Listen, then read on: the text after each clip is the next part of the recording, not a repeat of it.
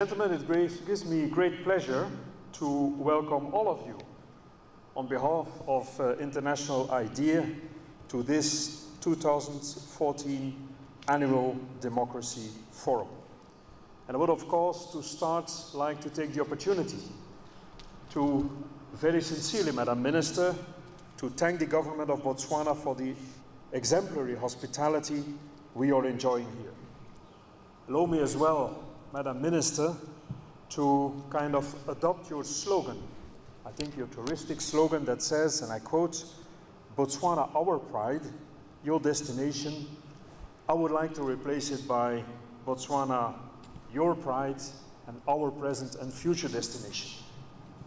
And I would also, ladies and gentlemen, like to seize the opportunity to congratulate the people of Botswana, the Republic of Botswana, the government of Botswana for indeed what you mentioned, the successful conduct of very recent held elections here in this country.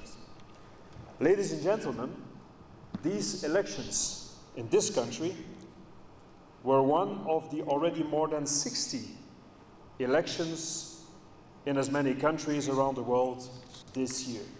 2014 is really a year of elections. More than 40% of world citizens will go to the ballot this year. This is, I think, a testament for democracy, a testament that democracy is alive and that it remains a universal aspiration as it is articulated in the Universal Declaration of Human Rights.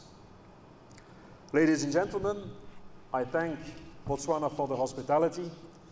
I uh, congratulate you with your elections, but of course, I also want to pay a tribute to Botswana to thank you, to thank Botswana for its leadership of our organization of International IDEA this year in 2014. And your vision, its vision in choosing the team of their chairmanship and our forum. Ladies and gentlemen, the importance the importance of our team, and I quote, fostering democracy and development through sound management of natural resources, I think cannot be, can impossibly be overemphasized. Indeed, democracy is not only um, an end in itself,